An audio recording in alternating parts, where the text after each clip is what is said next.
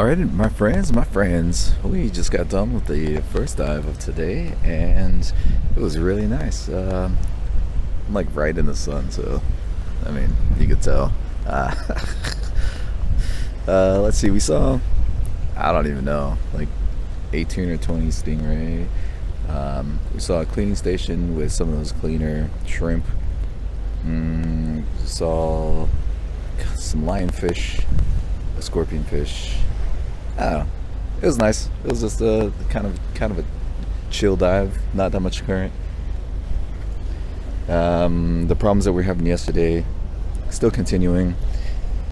My dive partner's having trouble clearing his mask and, and getting water in there and stuff. But um, hopefully, we're gonna see if we can't carry on. Carry on. It's um funny. I get well, yeah, funny-ish, I guess. I don't know. I haven't had any problems with my mask or anything, but um, I told him that I he could use my mask and I'll use his mask and see if it uh, works out. Right. All right. Uh, so that's pretty much it. I just wanted to show you kind of like the islands and stuff that we were doing, and um, we're gonna take a little break, get some food, and then go on another one. We're doing four again today, so.